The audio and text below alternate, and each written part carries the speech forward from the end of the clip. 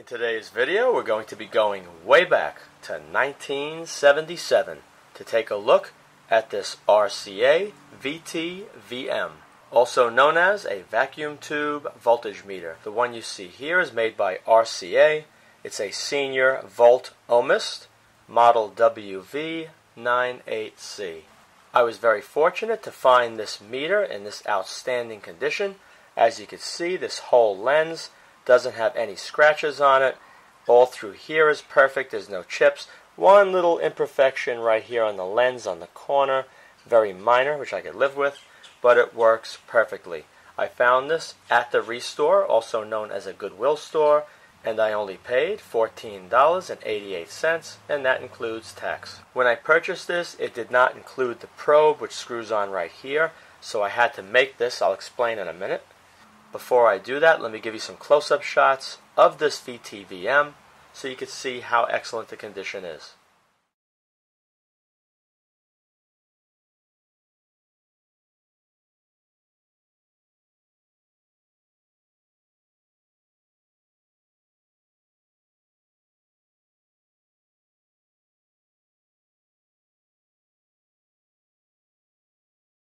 This unit is designed to be operated between 105 volts AC and 130 volts AC, 50 or 60 hertz.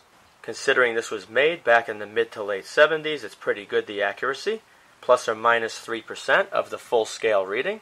You can measure resistance values between 0.2 ohms all the way up to 1000 megohm or 1 gigohm.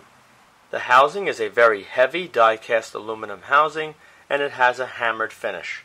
With this unit, you can measure up to 1,500 volts DC, ordinary meters, like you see here, my Wavetek, and the one I just showed in a product review video, this one right here, the Mustool, these go up to around 1,000 volts DC. So this does measure higher. And if you have a special attachment that goes over this probe tip, you can measure all the way up to 50,000 volts if needed. When it comes to measuring AC volts, you can measure up to 1,500 volts. And once again, meters like you see here usually only measure up to 750 volts. And keep in mind, this will also do peak-to-peak AC voltage. You can see here, P to P, all the way up to 4,000 volts. The switches, everything about this unit is quality. It's not like things that are made today. The switches are so smooth, engage nicely. Same with this one here. You have the off position, AC, RMS, which is the average AC voltage. You can also choose DC negative, DC positive, or the resistance setting. The input resistance of this meter is right around 11 megohm. Most of your digital meters are around 10 megohm. As a result of the dual triode vacuum tube installed in this unit, the panel meter is electronically protected. As you can see, you can make a few adjustments. There's a zero knob, there's an ohms adjustment knob. And on the back of the unit, let me turn this around. Right over here it says AC voltage adjustment. You can go through this hole to adjust the AC voltage. And behind this cover, which you'll see in a minute, there are three more adjustments you can make if needed. Now the cable for the probe screws on right here. This part right here with the threads that I'm pointing to has continuity with this wire coming out of the box. So these two are the same. The center right here is what connects to the probe tip right over here. Now let me show you what I had to do because I did have to buy a separate cable with a connector to make the probe. Okay, this is the probe I had to put together. I found this cable and that connector online at a very cool website. It deals with a lot of these older type of electronics they sell parts and much more. So I'm going to put the link to Mike's website in the video description area in the event that you need parts or anything else. You'll be able to find them fairly easily. He was very kind. He included this holder from a soldering iron. And the reason why I needed that is because the probe holder that came with the RCA VTVM had two positions. And the purpose of the two positions was to bypass a 1 megohm resistor or leave it in series with the tip and the connection to the VTVM. When the switch is in the position you see here, Pushing forward, it's going to be for measuring DC voltage only, and you're going to have a 1 megohm resistor between the tip and the VTVM. When you slide the switch backwards, what's going to happen, it's going to short out that resistor, allowing a connection between the tip and the VTVM without the resistor. And this diagram here shows it very easily. Over here is the wire from the VTVM, and this is the wire leading to the probe. You have a switch, a common, and it's two positions. You could leave it in that position where these two terminals are shorted together, or you can slide this to the left, and this piece here will short out these two terminals. So right now the way it is, the 1 megohm resistor is being shorted, so it's a straight wire. Slide it forward, now the 1M is in series. Now before I open this unit up, because I always like to open things up on this channel to show my viewers what the inside of things look like and how they operate, I first would like to explain how a vacuum tube voltage meter works. Back in the mid to late 70s, a lot of electronics, radios, televisions, and devices like you see here, a lot of them still used vacuum tubes. Even though transistors came out in the early to mid 50s, they were not commonly used until the late 70s and then going into the early 80s. When I do open up this unit, you're going to see two types of tubes in here. You're going to see a smaller tube, which is a dual diode, which is used to rectify the alternating current input that you would measure before going to the triodes, or a dual triode. And then you're going to see a larger tube, which is called a dual triode. Once I open up the unit, I'll also explain how they work, and I'll show you a diagram to make it easier. When the two triodes, which are inside that single vacuum tube, are in balance, what's going to happen, the needle is going to read zero. When a voltage is applied to the probe, right here to the center point, what's going to happen, the circuit is going to become unbalanced. When it becomes unbalanced, the needle will move. Okay, let's open up this unit and take a closer look. Okay, the cover's off. You can see how thick that aluminum housing is. Over here you can see a door cell, D-cell battery. There was an old battery installed in here. It was only 0.2 volts. And what this battery is used for is for the resistance readings. Without that battery, you will not be able to take resistance measurements. Now I did want to use a D-cell holder, screw one in plastic, but what I had to do, because I did not have one handy, is I soldered the wires directly to the battery as the person before me did and it works just fine, and the battery should last a very long time. When the unit is powered up, you can see over here is a neon lamp.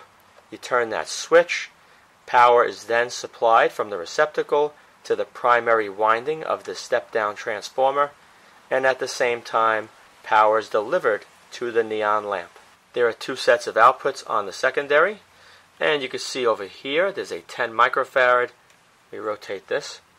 200 volt electrolytic capacitor and that's used to smooth out any ripples once that alternating current goes through that diode that metal can you see is just a single diode it's not full wave rectification once the current gets past that diode we're going to have DC current that's going to have a lot of ripples and the electrolytic capacitor is used to smooth out those ripples now this looks like an original electrolytic capacitor and because it's original, more than likely the electrolyte inside is dried up and the dielectric material inside that capacitor has begun to break down. So I'm going to take an ESR tester and we're going to measure the ESR across this capacitor as well as check the value. What I'm going to do is take this Japanese made 33 microfarad 200 volt electrolytic and swap this one out. Over here you can see the adjustments AC 0 that's an adjustment for DC negative, another adjustment for AC voltage, and DC positive. You can see all the traces, very, very heavy, coated in solder. Let's take a look at the inside now. Now the only thing I found inside this unit, which potentially needs to be replaced, which I probably will replace, is going to be the electrolytic capacitor. Inside this unit there are many precision 1% resistors. You can see the blue ones all in here. As well as a bunch of ceramic capacitors. They last a very, very long time and they do not fail. There's also an inductor in here. You can see it in there. But right over here, you can see the diode tube. It's a dual diode tube. Got this high quality switch with different levels.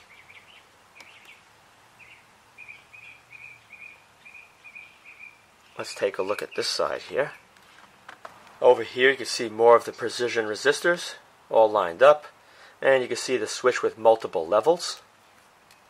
Same on this side. On the opposite side, you can see where I soldered the negative onto the battery for the resistance readings. You can see more of the multi-levels of the switch.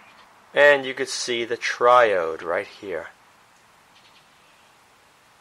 Inside, there's just a few more resistors on the bottom.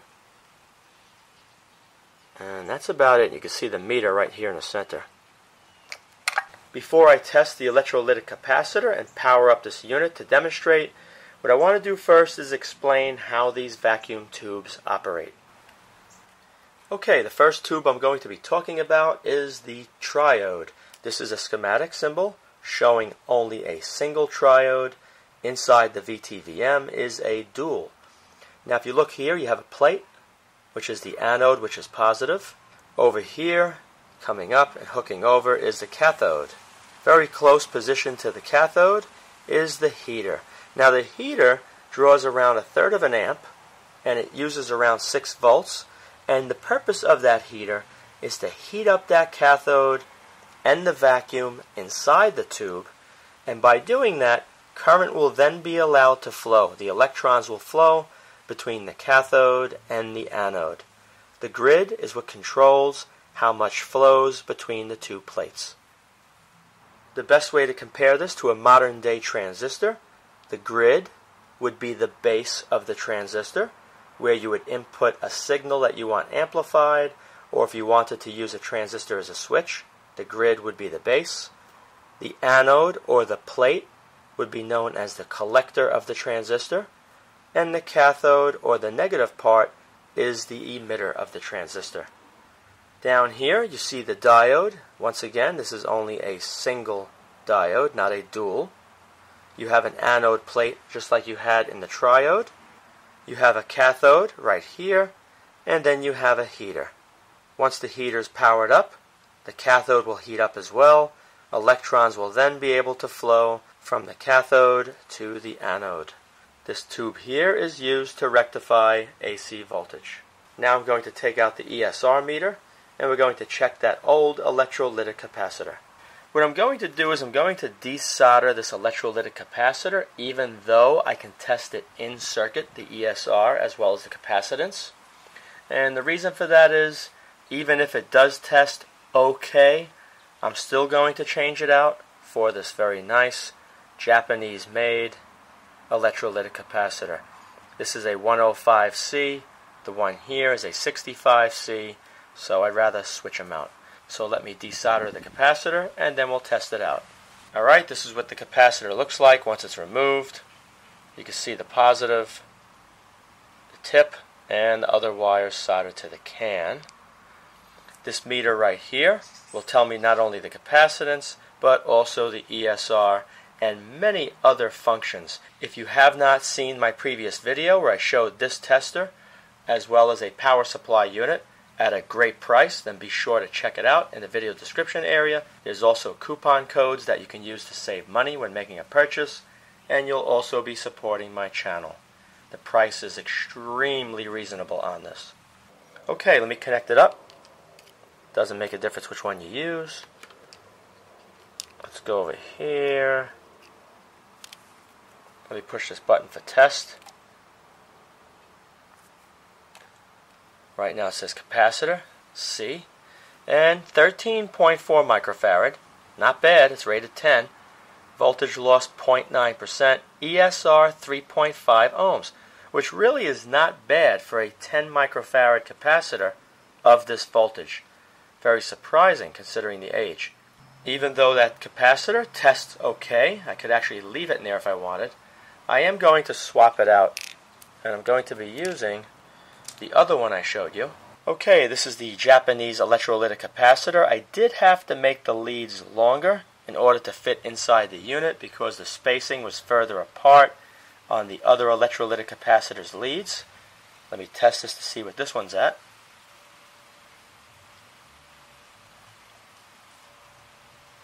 And the ESR is way lower than the one that was installed. This is only 0.14, V loss 0.5%, and the capacitance is fine. It's just a hair lower than the rating at 32.16. Let me install it, and then we're going to power up the unit.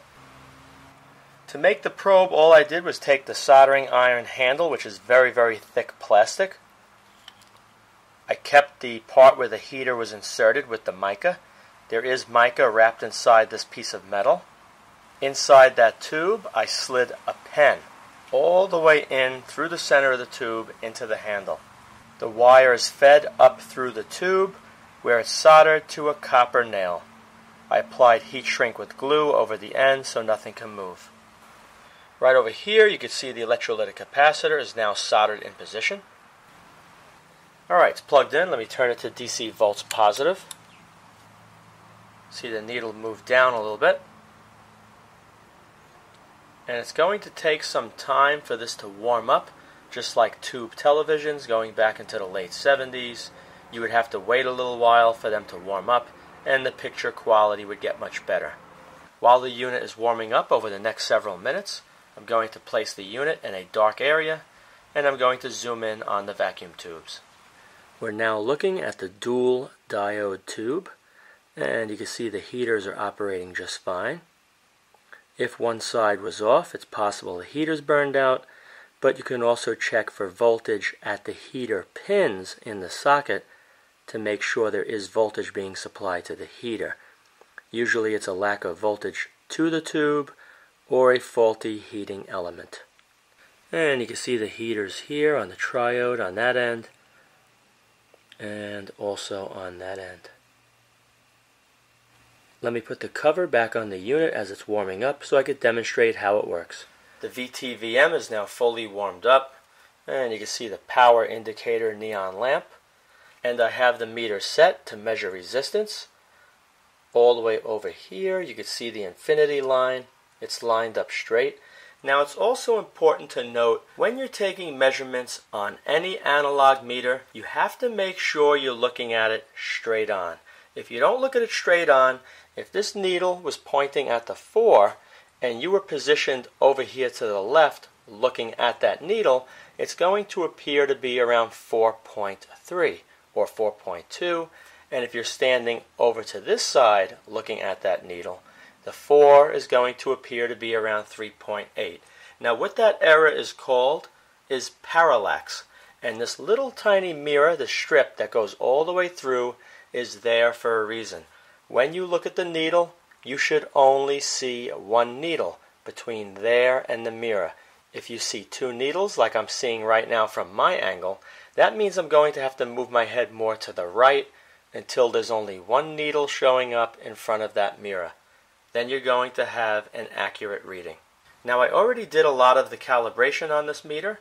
All I have to do is just do a little bit of zeroing here and using the ohms zero knob. Right now you can see it's pointing exactly at the infinity line and it's on the R times 1 range. So if I take this right here, the probe, and I make sure it's on AC and ohms, which is at the bottom, and I touch it, it'll swing all the way to the left, which means it's basically a short circuit.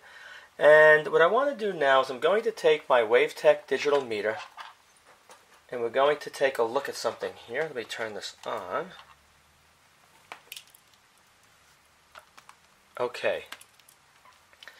This meter has the ability to measure all the way up to 2 gigohm. This one says 1 gigohm, but it actually goes a little higher. So what I'm going to do is take one of these high value resistors out of a survey meter, and it's very important. You can see the meter moving around. I have to make sure my wires are held apart, just like this. Just having the wires touching like this right there is going to affect the reading. So what I'm going to do is take the resistor to get a reading on it to see what it is here and compare it to this meter. So let me hold one there, here, and hold it up. And let's see what we get.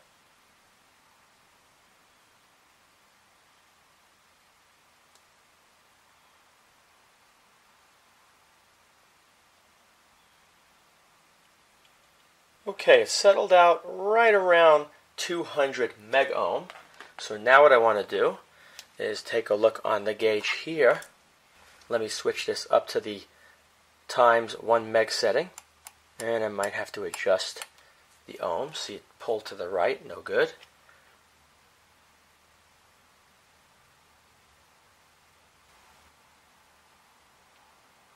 Okay, that's looking pretty good from my angle. The camera might make it appear that it's off, but it is lined up. Let me take the resistor now, put it inside here, touch the probe, and see if this swings to 200. And it looks pretty good. It's just a hair under 200 megs. Now I want to take a look at another one. This one here is a 2 gig ohm resistor. And my Wavetek is limited to 2 gig ohm and it will go in and out at that range. So I'm not going to even bother showing you, but it will grab it a little bit. But let's take a look on here. The needle should move towards the 1 gig ohm. Let's see. Here we go. Keep an eye on the needle. Alright, you can see it's there and it does move to the left. Watch. And it goes back. So it's right between the infinity line and the 1 gig ohm. So you could tell if there's values well above 1 gig ohm, which is pretty good. Now what I want to do is switch to the DC voltage range. Okay, very easy, just adjust right here. Now I'm going to switch this over to DC voltage. This puts the resistor in series between the tip and the VTVM. Let me move it over to the 15 volt range, which is 40 volt peak to peak if you were measuring AC voltage. That's still at zero. I checked this right here.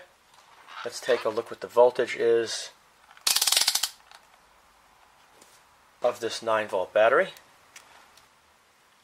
and right around 983 and I checked it on the Mustool and it comes up at 9.8 so it's right around 98 983 let's take a look here right over here is your DC voltage range. Whatever the reading comes up over here on this range you're going to multiply by 10 so if it's 0.8 it's going to become 8 0.9 it'll be 9 here we go.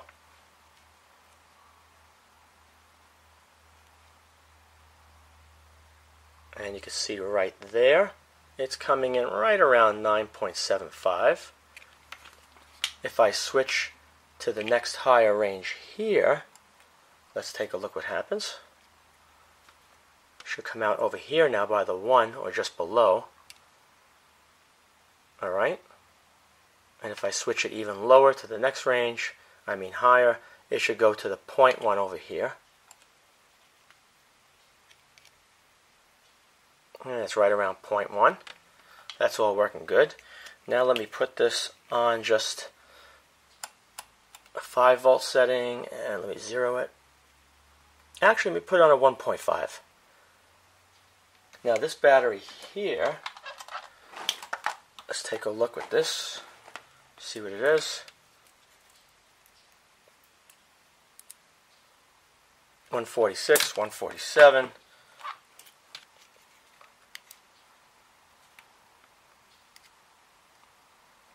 look right over here 1.46 right about that 1.47 so that's working very well. Now I'm going to take a crank megger which you're going to see in another video along with an electronic one when I explain how they work as well as show you a great deal on one. I'm going to take the megger this one right here. I'm sure you've seen these type. Alright it's got the handle on the front. I'm going to take that. It says 250 volt or 500 volt. I checked it using my digital meter and it comes out at 585 when you crank it on the 500 setting and it comes in right around 290 on the 250 volt setting. So let me connect this up, set this all the way to the highest which is 1500. But let me do it 500 first because now I'm going to set the megger to the 250 volt range. Let me connect it up to the wires here. Okay. Connect it to the probe. I'm going to crank and we'll take a look at the scale right in here. And we're going to be multiplying that by 100. Two decimal places to the right. Here we go.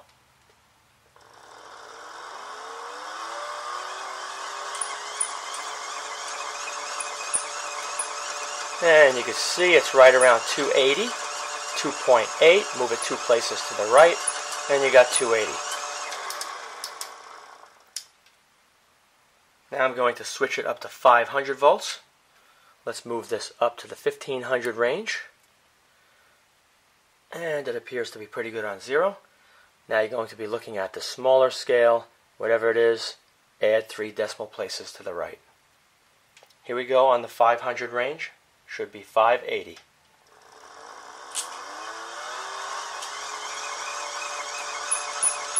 There you go.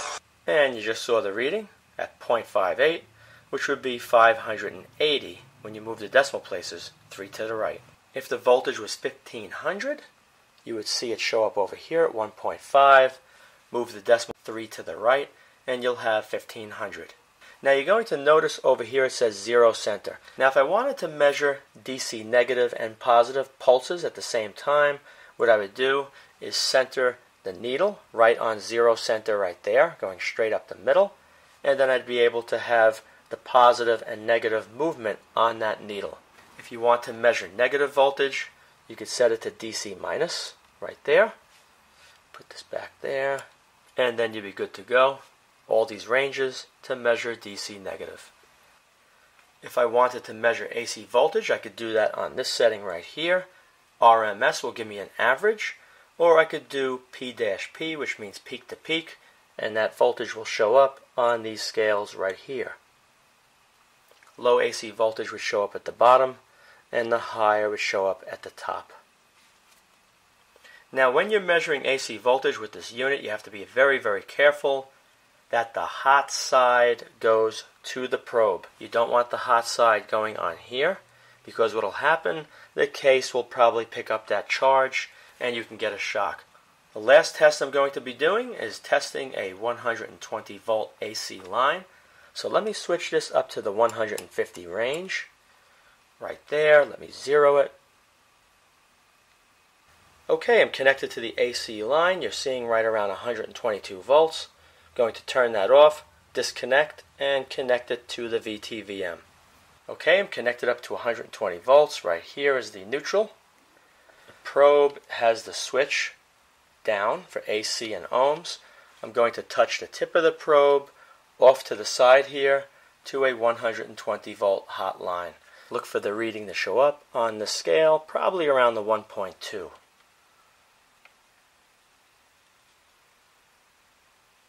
there you have it 1.2 and you would multiply that by 100 to have 120 I hope you enjoyed this video. If you did please rate it a thumbs up subscribe and post links to this video on other websites and blogs. Also be sure to check out my video playlist as well. Thank you very much